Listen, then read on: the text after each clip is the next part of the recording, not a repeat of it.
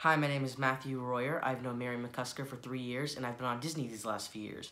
I do, I do two things with Mary, and one of the things I do is taping for auditions. And sometimes, when a casting director doesn't want to see you immediately, they want you to send in a tape to see how you are. And I think when that happens, you really need to have a coach with you, and Mary does a great job with that.